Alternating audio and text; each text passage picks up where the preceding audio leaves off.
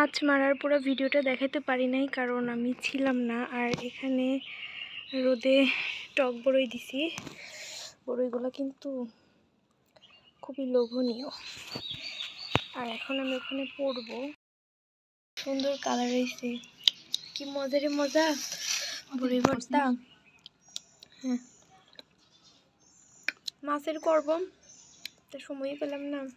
খুব মজা না? হ্যাঁ। সেই মজা। অনেক